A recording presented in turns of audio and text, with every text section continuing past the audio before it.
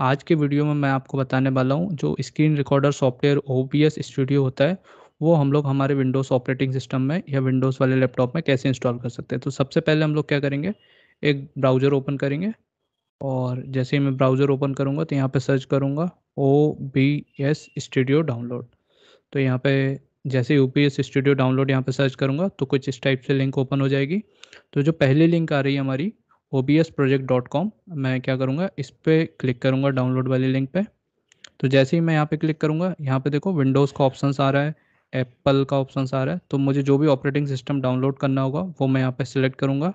तो ये विंडोज़ पे मैं क्लिक किया। तो जैसे ही मैं विंडोज़ पे क्लिक किया, मेरे पास यहाँ से इंस्टॉलर आ गया। डाउनलोड इंस्टॉलर का ऑप्शन आ रहा है यहाँ पे ऑलरेडी तो मैं क्या करूँगा, मैं डायरेक्ट डाउनलोड इंस्टॉलर पे क्लिक करूँगा यहाँ पे। तो देख सकते हैं डाउनलोड इंस्टॉलर पे जैसे ही क्लिक करूँगा तो यहाँ पे राइट हैंड साइड में आप देख सकते हैं, मेरी डाउनलोडिंग जो है ओ बी स्टूडियो की स्टार्ट हो चुकी है। तो यहाँ पे 130 MB का जो भी इंस्टॉलर है बी एस का एस स्टूडियो का, वो डाउनलोड होना स्टार्ट हो चुका हूँ। तो करीब एक मिनट का टाइम लगेगा इसको इंस्टॉल होने में। तो देख सकते हैं यहाँ पे हमारा इंस्टॉलेशन ऑन प्रोग्रेस है।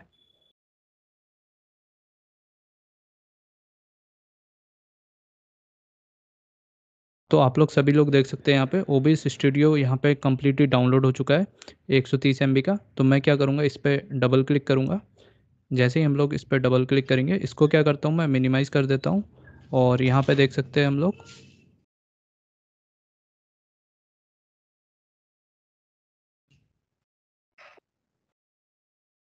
मैं से ये कुछ परमिशंस मांग रहा है तो मैं क्या करूँगा, इस परमिशंस को यस कर दूँगा। तो जैसे ही ये परमिशंस को मैस करूँगा। कुछ इस टाइप से विंडो ओपन होकर आ जाएगी मेरे सामने। मैं नेक्स्ट पे क्लिक करूँगा। फिर नेक्स्ट पे क्लिक करूँगा। फिर यहाँ पे देख सकते हैं पाथ पूछ रहा है हम लोग कहाँ इंस्टॉल करना चाहते हैं। तो मैं डिफ़ॉल्ट पाथ पे क्लिक करके इंस्टॉल पे क्लिक कर दूँगा। तो मेरा ओ बी एस स्टूडियो का इंस्टॉलेशन चालू हो चुका है। तो यहाँ पे डाउनलोडिंग इंस्टॉलेशन ऑन प्रोग्रेस है। तो धीरे धीरे थोड़ा सा टाइम लगेगा इसको इंस्टॉल होने में। थोड़ी देर हम लोग वेट कर लेते हैं।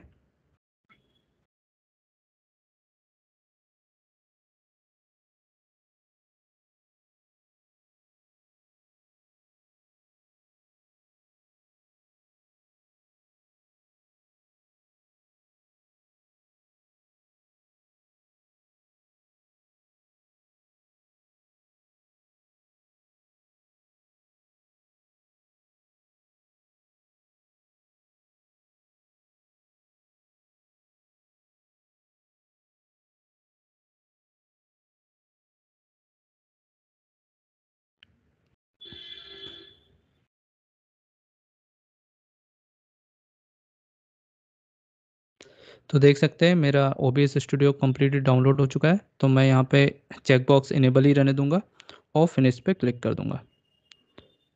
तो जैसे ही मैं फिनिश पे क्लिक करूँगा तो थोड़ी देर वेट करते हैं हम लोग।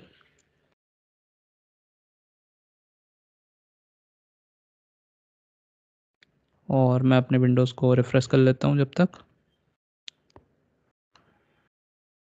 तो ये मेरा इंस्टॉलेशन कंप्लीट हो चुका है। तो हम लोग क्या करते हैं अब? इस ओ बी स्टूडियो यहाँ पे डाउनलोड हो चुका है हमारा। तो देख सकते हैं, ये देखो, यहाँ पे ऑटोमेटिकली ओपन हो चुका है। तो हम लोग क्या करेंगे नेक्स्ट पे क्लिक कर देंगे। हम लोग हमारा जो भी कॉन्फ़िगरेशन है, वो क्या करना चाहते हैं? ठीक है, हम लोग रिकॉर्डिंग करना चाहते हैं, है ना? कि हम लोग सिर्फ़ स्ट्रीमिंग करना चाहते हैं तो मैं यहाँ पे क्या करता हूँ देता हूँ optimize just for recording I will not be streaming तो कोई भी ऑप्शन आप चूज़ कर सकते हैं अकॉर्डिंग टू योर कन्वीनियंट और मैं नेक्स्ट कर देता हूँ। फिर यहाँ पे देखिए, ये हमसे पूछ रहा है कि हमारे जो जो कैनवास है, इसका साइज़ आप क्या यूज़ करना चाहते हैं? तो मैं डिफ़ॉल्ट वाला ही रहने देता हूँ और यहाँ पे नेक्स्ट कर दूँगा। फिर यहाँ पे हार्डवेयर कॉन्फ़िगरेशन वगैरह जो भी है डिफ़ॉल्ट ऑप्शन ही रहते देता हूँ। और अप्लाई सेटिंग कर देता हूँ फाइनली तो देख सकते हैं हम लोग, यहाँ पे मेरे पास ये O B S studio completely install हो चुका है और ये मेरे सामने आ चुका है। जो भी मैं यहाँ पे ऑडियो बोल रहा हूँ, वो देखो यहाँ पे ब्लिंक हो रही है। तो मैं क्या करूँगा, अब मेरे पास डिफरेंट डिफरेंट ऑप्शन है यहाँ पे तो सोर्सेस और सीन। तो मैं क्या करता हूँ, यहाँ पे सोर्सेस के प्लस पे क्लिक करता हूँ तो देख सकते हैं मेरे पास यहाँ पे ऑप्शन आ रहा है। तो मैं क्या करता हूँ, पहला ऑप्शन डिस्प्ले कैप्चर का सिलेक्ट करता हूँ, क्योंकि मुझे रिकॉर्डिंग करनी है। जो भी मैं डिस्प्ले को कैप्चर करना चाहता हूँ या डिस्प्ले को स्क्रीन को रिकॉर्ड करना चाहता हूँ तो पहला ऑप्शन डिस्प्ले कैप्चर पे क्लिक करूँगा, ठीक है? और यहाँ पे डिस्प्ले कैप्चर का क्रिएट न्यू पे क्लिक करके मैं ओके पे क्लिक कर दूँगा। तो जैसे ही यहाँ पे ओके पे क्लिक करूँगा, मेरे पास यहाँ पे ऑप्शन आएगा, मैं कुछ भी चेंज नहीं करूँगा डिफ़ॉल्ट ऑप्शन ही रहने दूँगा और ओके कर दूँगा। तो देखिए, ये मेरा स्क्रीन डिस्प्ले कैप्चर का स्क्रीन यहाँ पे आ चुका है। तो जो भी मैं कुछ भी पढ़ाऊँगा आपको या जो भी कुछ करूँगा तो वो एवरीथिंग यहाँ पे डिस्प्ले पे कैप्चर हो जाएगी।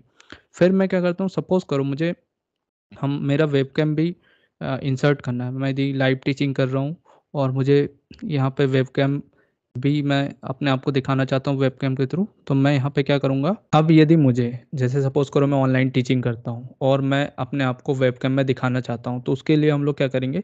यहाँ पे एक और ऑप्शन होता है, और यहाँ पे आप आएँगे हम लोग वीडियो कैप्चर डिवाइस करके एक ऑप्शन होता है, इस पर क्लिक करेंगे।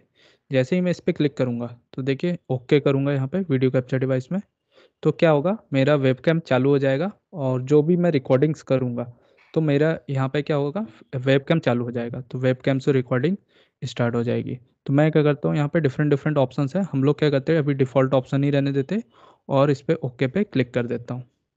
तो जैसे ही मैं ओके पे क्लिक करूँगा तो देखिए ये, यहाँ पे देख सकते हो, ये स्क्रीन आ गई। और मैं सपोज़ करो मेरे स्क्रीन को, मैं छोटा करना चाहता हूँ तो छोटा भी कर सकता हूँ। और देखिए, मैं सपोज़ करो इसको इधर लगाना चाहता हूँ राइट में तो इधर भी लगा सकता हूँ। यदि मुझे लेफ़्ट में लगाना है तो मेरी मुझे जहाँ पे इसको अटैच करना है। सपोज़ करो कुछ लोग जब टीचिंग करते हैं तो लेफ़्ट हैंड साइड में बिलो बार पे इसको लगा लेते तो हम लोग ऐसे इसको लगा सकते हैं। दूसरा, हम लोग आते हैं, जैसे सेटिंग्स पे आते हैं तो यहाँ पे डिफरेंट डिफरेंट ऑप्शंस है। तो हम लोग सेटिंग्स पे क्लिक करता हूँ मैं।